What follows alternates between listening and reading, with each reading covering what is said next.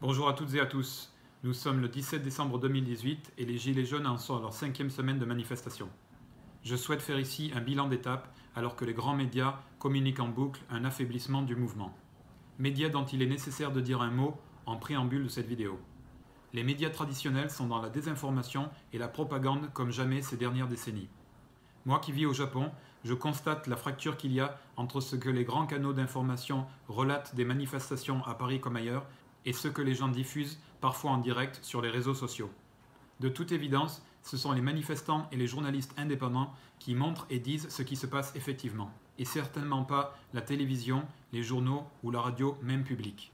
Eux choisissent ce qu'ils montrent et donc ce qu'ils cachent, et orientent délibérément leur analyse vers le discrédit du mouvement de façon partisane, faisant fi de la déontologie journalistique il y a clairement une volonté de désinformation de la population afin d'éroder le soutien toujours massif des Français aux Gilets jaunes. Il ne faut pas s'y laisser prendre et garder un esprit distant et critique, ainsi que multiplier ses sources d'information.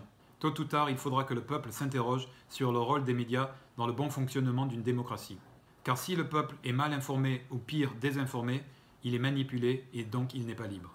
Cette stratégie de propagande des médias se double d'un cynisme d'État qui instrumentalise la fusillade survenue à Strasbourg pour tenter d'éteindre le mouvement. Ce qui ne semble pas fonctionner tant les gens sont déterminés. C'est rassurant. Mais il y a pire.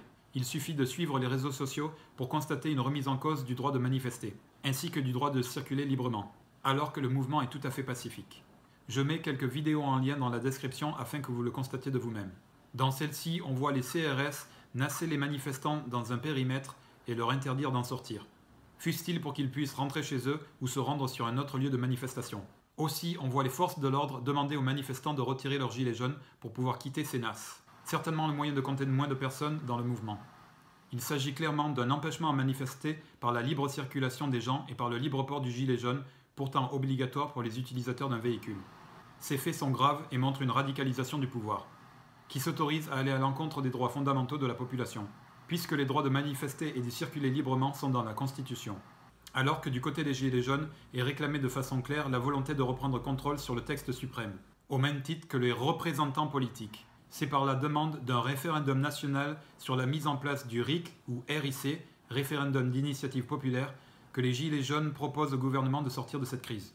Ceci semble être une revendication tout à fait faisable et légitime, puisque certains pays comme la Suisse ont ce genre de référendum dans leur constitution.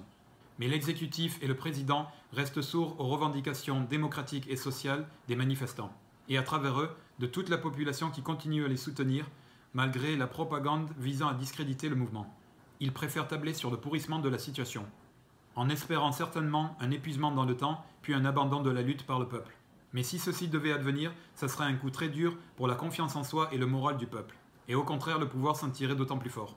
Il est donc crucial de tenir coûte que coûte les rangs de la mobilisation. Le peuple aurait trop à perdre s'il relâchait la pression maintenant. Le contre-coup aurait des conséquences absolument catastrophiques pour les combats sociaux et les luttes d'aujourd'hui et de demain. Après plusieurs semaines d'insurrection, le gouvernement a cédé sur la hausse des carburants. Puis, le président s'est senti obligé d'annoncer des mesures sociales qui n'ont berné personne. Mais toujours est-il que le peuple l'a poussé à s'exprimer. Ces faits montrent que le combat paye. Mais nous restons encore très loin du but, puisque ce que nous voulons, c'est une véritable démocratie ainsi que de vivre dignement ce ne seront pas quelques semblants de reculade qui nous endormiront.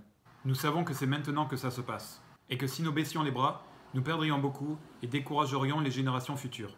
L'enjeu est trop important.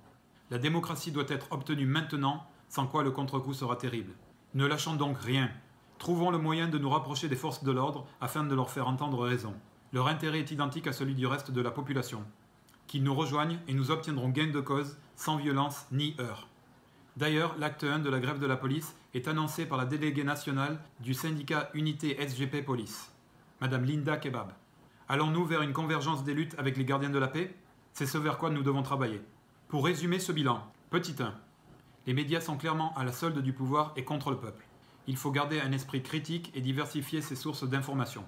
Petit 2. Le gouvernement se radicalise en entravant le droit de manifester et le droit de circuler librement, alors que le mouvement est pacifiste. Petit 3. Le référendum d'initiative citoyenne est la revendication numéro 1 du mouvement et la solution de sortie de crise. Petit 4. Fléchir maintenant aurait de graves conséquences sur la lutte et les mouvements sociaux aujourd'hui comme demain. Il ne faut donc rien lâcher. Petit 5. Les forces de l'ordre arrivent à leurs limites et commencent à exprimer leur mécontentement envers la politique menée ces dernières décennies. Il faut donc travailler au rapprochement entre le peuple et les gardiens de la paix. Voilà pour le bilan que je propose après l'acte 5 de la mobilisation, tout en appelant un acte 6 et autant qu'il en faudra pour avoir gain de cause, c'est-à-dire l'obtention d'une démocratie, une vraie. J'ajoute, le Premier ministre s'est exprimé dans la presse ce dimanche. Il annonce de nouveaux semblants de reculade, tels que la possibilité de discuter du RIC, mais déjà il tente de le dénaturer en interdisant certains domaines dans lesquels le peuple pourrait s'exprimer. Il ne faut pas se laisser avoir, c'est de nouveau de l'enfumage. Merci d'avoir regardé cette vidéo. Partagez-la si vous pensez que c'est utile. À toutes et à tous, je communique mon soutien et ma gratitude pour votre courage et votre détermination. Continuons la lutte. Liberté, égalité, fraternité. Vive la France.